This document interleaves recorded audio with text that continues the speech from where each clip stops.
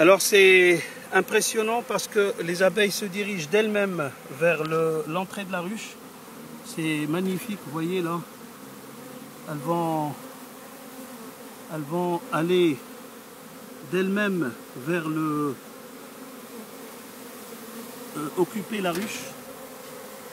Alors il y en a des milliers, des milliers, des milliers, des milliers. Et l'abeille dans cet état n'est pas du tout, du tout agressive.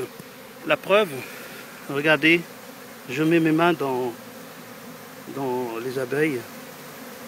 Voilà. Voilà.